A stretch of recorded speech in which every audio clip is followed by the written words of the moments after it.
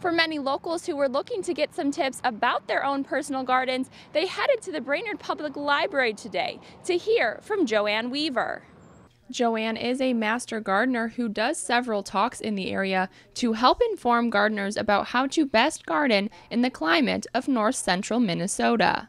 On average, our lowest temperatures are going to be minus 35 to 30.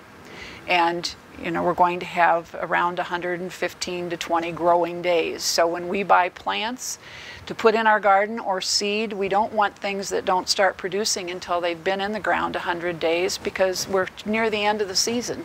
So we sometimes should choose things that have a shorter season. She bases her presentations on questions or concerns that she has heard over the years. For today's lesson, she focused on where the roots of gardening come from the soil.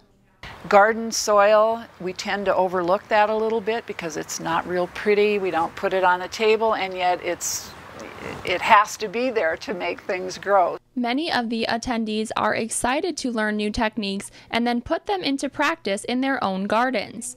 One guest of today's presentation was surprised by many of Joanne's tips. Also over tilling.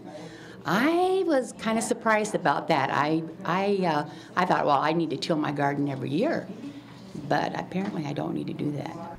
Gardening is always growing and always changing, so presentations like this one are necessary to keep the garden as healthy as it can be.